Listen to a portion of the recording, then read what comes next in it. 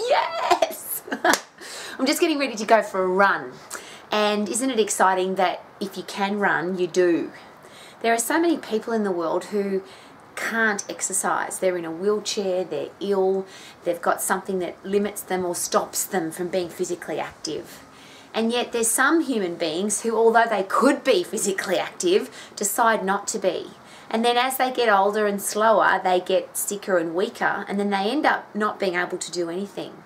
It's very interesting because you can go your whole life without doing any exercise, which means you'd never know how fantastic it feels. I'm going to put my arms up in the air. You ready? Yes!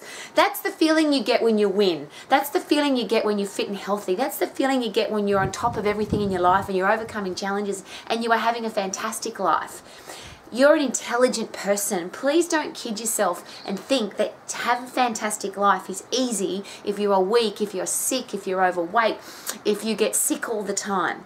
The great thing about being fit is when you've got a good immune system, the germs can be flying around in the air and you won't even suck them in. And if you do, your body will just spit them back out again because you're strong and you're fit and you're healthy. Please don't use excuses. Make sure that if you've got an opportunity to move, you do. Don't put it off until tomorrow. That's what procrastinators do, and that's called a disease. And procrastination disease is the worst because you'll find out by the time you're 50, 60, 70 that the stuff that you didn't do when you're 20 is now sitting on your ass. Literally. Look after you. No cow poo. If you can move, go do it. Yeah.